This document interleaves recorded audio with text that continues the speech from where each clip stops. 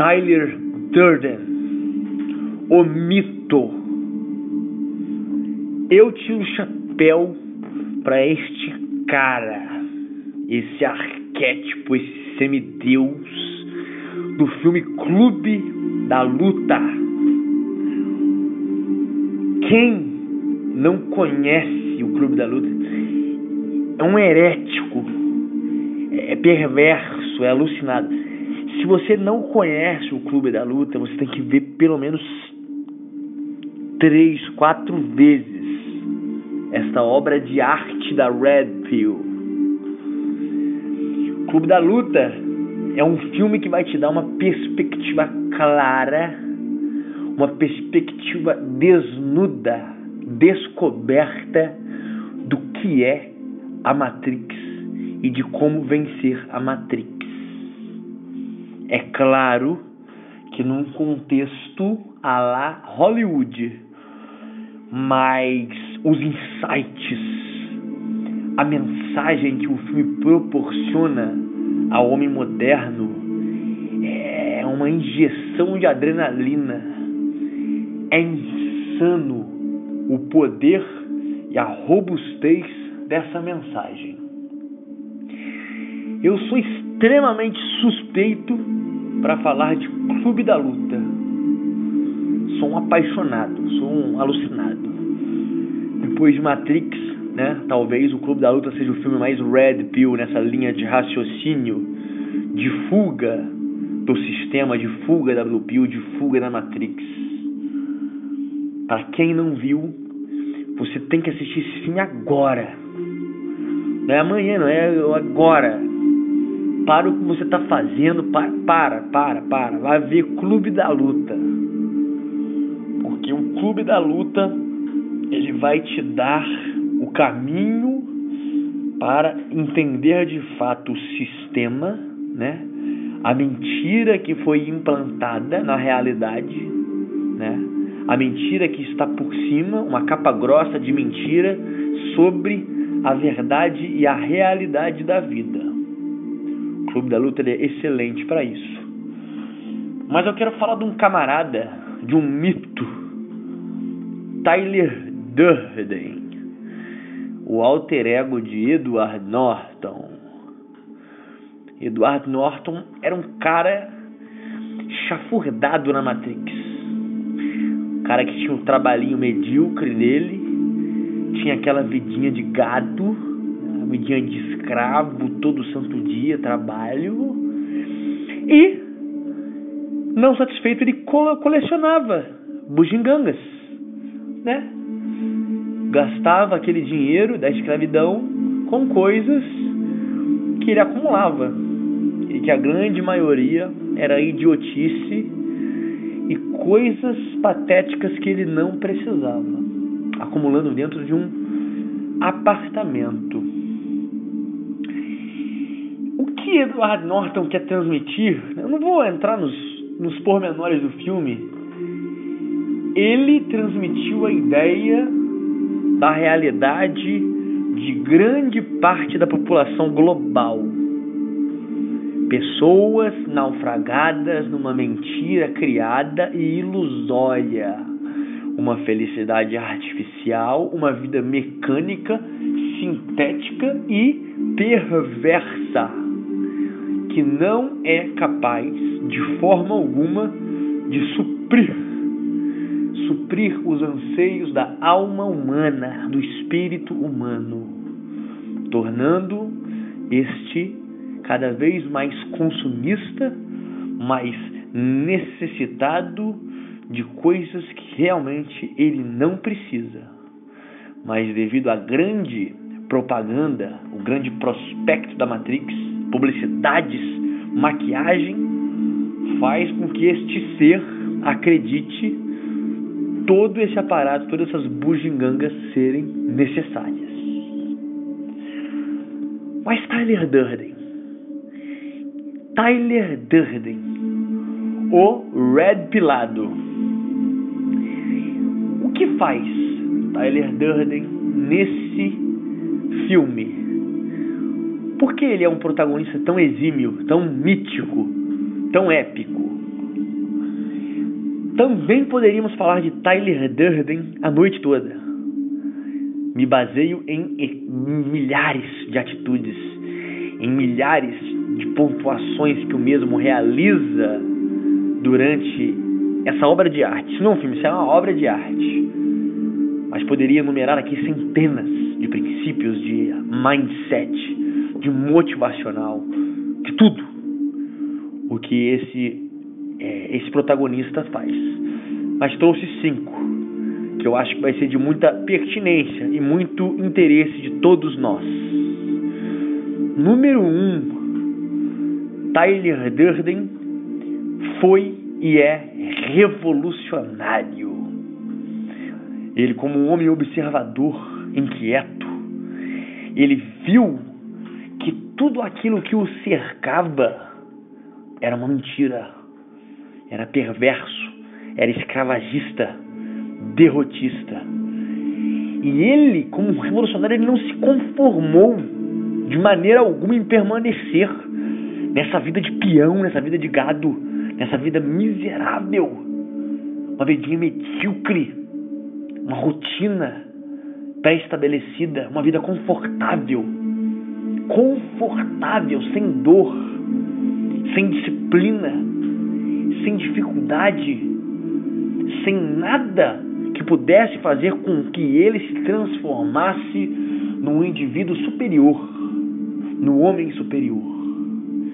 Então, com essa meditação diária de Tyler Durden, observando cada passo, cada sinal, cada insight da Matrix, ele não poderia ficar quieto teve que se posicionar como um revolucionário.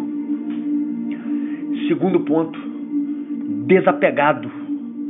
Tyler Durden é um cara que queria que tudo fosse pra puta que o pariu. Sim, não tava nem aí pra cacete nenhum. Ele queria ser. Ele queria aumentar grandemente, enormemente as suas potencialidades interiores. Tyler Durden estava cagando e andando para o material.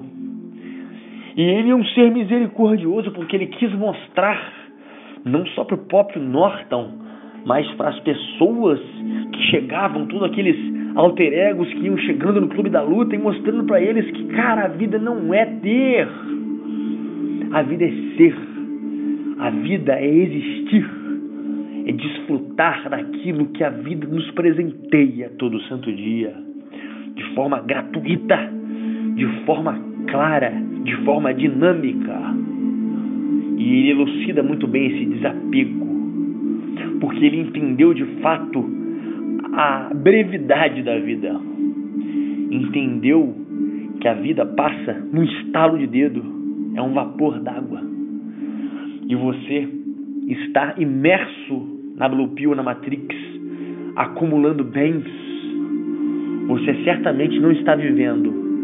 Você está se matando dia após dia. Terceiro ponto. Sou alucinado nesse terceiro ponto e trabalho todo santo dia este quesito. Tyler Durden era um cara extremamente viril, masculino, macho, despertava o desejo do feminino.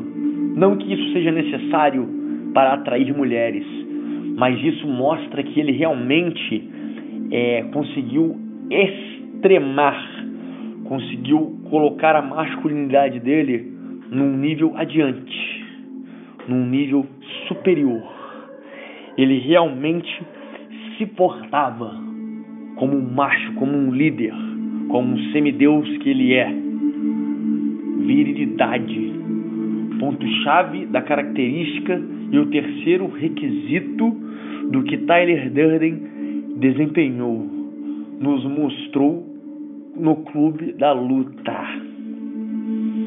Quarto ponto, também extremamente engraçado, esse ponto que ele deixa assim bem aflorado no filme o quarto ponto é que ele é alucinadamente destemido. Mano, aquela cena que ele bota todo mundo dentro do carro, velho. E ele vai de frente com o caminhão. Tipo assim, é, é uma. É, é exacerbado, né? Ele é destemidamente é, exacerbado, né? Mas o que, que ele quer mostrar com isso? Que, cara, ele entende que essa vida aqui, cara, ela, ela, ela é medíocre, velho. O valor, né? Você não pode tentar sucumbir os seus instintos. Você não pode abandonar a sua animalidade, né? Porque viver com risco, viver, se arriscar, né? Lutar por questões importantes, por filosofias justas, combater o inimigo. Quem que é esse inimigo? É um inimigo metafísico. É um inimigo dominante que escraviza os seres humanos modernos de uma forma que o próprio ser humano aceita ser escravo. Porque esse sistema ele presenteia o ser humano com migalhas. E o ser humano, por se contentar com pouco, grande maioria, consegue ficar silenciado com essas migalhas. E Tyler Durden, ele era tão destemido que ele não queria saber que se a pessoa que estava na frente dele era um banqueiro muito perigoso, um agiota muito perigoso, um grande empresário. Se ele tivesse que sacudir esse cara de pancada, ele ia fazer. Ia cuspir na cara dele, ia chutar a beiça desse vagabundo. Entendeu? Destemido. Um ser destemido, mas que não deixa perder as suas qualidades racionais. O infinito é o limite para esse cara. Gosto dessa qualidade do Tyler no filme, esse destemor dele, né? Ele se metia em questões que você fala, cara, não é possível, não é possível que esse cara vai vai vai desenrolar com, com os capangas dele para fazer essa coisa. Quando você via já estava feito. A merda já tinha entornado. Tenso. Quinto, muito interessante. Ele tinha a qualidade de transcendência. Vocês sabem que eu adoro a metafísica, né? Vocês sabem que eu adoro esse cunho espiritual das coisas. Tento não espiritualizar tudo, mas gosto de rechear aquilo que eu espiritualizo. mas por que, Vic? Aonde que você entendeu que Tyler Durden é transcendente? Porque este extremamente sábio, extremamente hábil, extremamente contemplador da existência e uma clarividência muito grande do conhecimento da vida, ele compreendeu que a plenitude, a alegria excelsa, a alegria, a alegria radiante, a alegria infinita, ela só é possível depois que você morre. Depois que você se liberta deste invólucro carnal desta casca que tanto escraviza o homem com desejos sexuais, com avareza, com, com fome de dinheiro, com fome de poder, com fome de buceta, com fome de mulher, tudo, tudo. A culpa de tudo o que o homem moderno perece traz resistência a esse espírito grandioso valoroso, infinito, que é o espírito que vive dentro do homem, o que vos limita é esta carne. E Tyler Durden, muito cirúrgico, muito precisamente, vira e fala: para sermos libertos, só se morrermos atingiremos a total e plena liberdade. E meu amigo, o fim desse filme é, é como um vinho doce no meu lábio, velho. É um vinho doce, mas que desce pleno numa noite de inverno. Que vinho gostoso ver no fim do filme todos aqueles prédios financeiros, né? É, o coração o pulmão da Matrix sendo destruído. Esse sistema mentiroso, esse sistema pútrido que tanto hum, é, é, traz ilusões para a vida do ser humano, que tanto destrói a vida da humanidade moderna. Não teve tiragosto melhor do que ver o pulmão e o coração da Matrix vindo ao chão. No mais é isso, queridos amigos. Se você não, vocês não viram Clube da Luta, que eu duvido, assistam agora. Entendam a genialidade do criador desse filme e principalmente foquem na personalidade, no senso masculinista de Tyler Durden. Lhes garanto, uma aula gigantesca vocês irão desfrutar. Curtam, compartilhem, amigos. Se vocês curtem o conteúdo desse canal, considerem realizar uma doação abaixo nos links da descrição. O que vocês tiverem em mãos, o que vocês puderem ajudar, o que vocês puderem doar, será de grande valia, independente do valor. O canal sobrevive com esses trocados mesmo, né? Para motivar, continuar motivando a criar conteúdo, a fazer esses vídeos que tanto gosto. Não me importo com dinheiro, não me importa se vocês forem doar ou não, né? Mas tem essa consciência que ajuda. Qualquer valor ajuda. Mas eu quero deixar claro que eu faço isso por paixão, cara. É bom demais gravar conteúdo, porque além de eu estar transmitindo para vocês conhecimento, eu também aprendo com as minhas próprias palavras. E isso de fato não tem preço. Amigos, excelente fim de semana a todos. Paz.